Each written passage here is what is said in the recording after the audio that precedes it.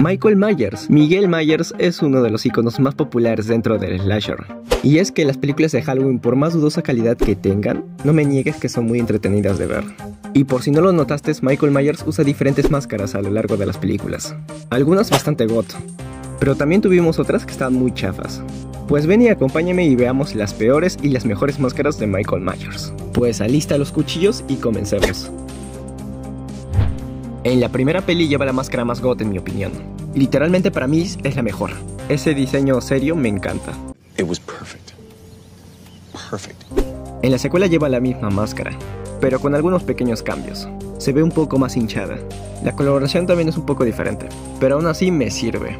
Es una máscara muy aceptable. Ahora sí toca analizar a las que son XD. La trilogía de Thor tiene las máscaras más cutres de Michael. La 4 es una película que me encanta bastante, pero hey, su máscara es... Uh, tiene una expresión de sorprendido. Se ve como asustado, y en algún momento de la película cambia de color, con la piel rosada y el cabello rubio. ¿Qué onda con eso? Eso sí fue muy XD. En mi opinión personal creo que es de las peores. Ahora vamos con la 5, que supuestamente tendría que ser la misma máscara, pero es muy diferente. Tiene el cabello un poco más largo y no tiene Megui ni siquiera y esta vez tiene la cara enojada. Me agrada algo pero creo que no es de las mejores. En la 6 tendremos la máscara más rescatable. Es una máscara que sí, me gustó, pero creo que no se acerca a una de las mejores. Pero sí, es muy aceptable. Su diseño me gusta, se ve un poco más tenebroso. En fin, eliminarían a la trilogía de Thorn para acercarse a otro nuevo canon. H20 tendría de las peores máscaras en mi opinión, y es que usan bastantes aquí, y ninguna me convencen sinceramente. H20 es una película que me gusta bastante, pero las máscaras de Michael mm, no.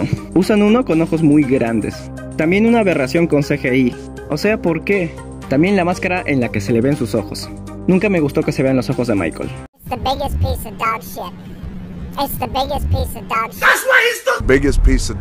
En fin, después tendremos Halloween Resurrección, que continúa la cronología. Y su máscara de Michael está súper maquillada. Literalmente está súper maquillada. Después de esto la saga tomaría un reinicio. La versión de Halloween de Rob Zombie nos trajo de las máscaras más cochinas de la saga. Me encantan las máscaras que usan en la primera. Le da un aspecto brutal a Michael. Y literalmente esta versión se ve súper intimidante. Obvio bro, es de mis favoritas. En la secuela su máscara está más destruido. Le da un toque más creepy. Y se le ve una parte de su cara. Pero no lo vemos mucho usando su máscara. Aquí parece ya más un vagabundo. Pero aún así creo que no se acerca mucho al nivel de la primera. Esta línea cronológica sería echada a un lado porque en el 2018 se abriría otra línea de tiempo, la trilogía de Blumhouse, o también la trilogía de Haddonfield. Y uff, la primera máscara que usa Michael está impecable. Literalmente, bro, es una de las mejores. Superó al de Rob Zombie en mi opinión. En su secuela usa la misma máscara pero más dañada. Tiene la mitad de la cara quemada. Y eso le da un toque más chido en mi opinión. Literalmente me encanta, todo got. Y en Halloween End se ve una máscara muy... Mm, es que aquí Michael es súper nerfeado. Qué decepcionante final para la trilogía.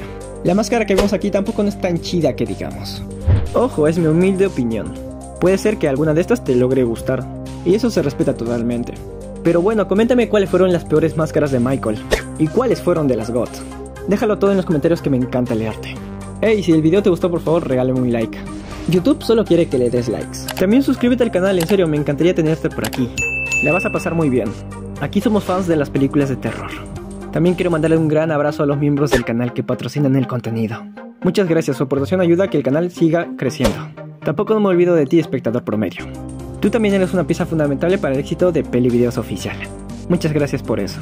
Bueno, yo soy Peli Videos Oficial y conmigo será en un próximo video. Muchas gracias, en serio. Se me cuidan, un abrazo fuerte, bye.